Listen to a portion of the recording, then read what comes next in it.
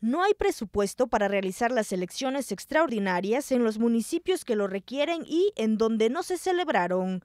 Así lo informó el consejero presidente del Instituto Estatal Electoral y de Participación Ciudadana de Oaxaca, Gustavo Menjueiro Nájera. Explicó que hicieron la petición en el anteproyecto de presupuesto, sin embargo, el recurso no fue aprobado, por lo que solicitarán a la Secretaría de Finanzas dinero para que el IEPCO pueda realizar su tarea y lograr que las comunidades tengan autoridades electas.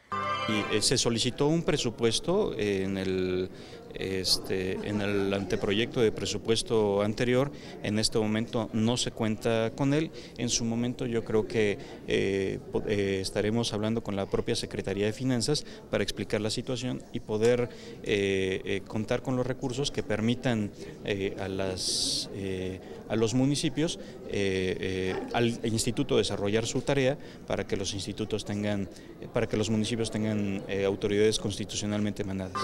Negó que el Consejo General obedezca a intereses de la Secretaría General de Gobierno, pese a constantes acusaciones por parte de pobladores de los municipios. Explicó que en comparación con el año pasado los conflictos disminuyeron.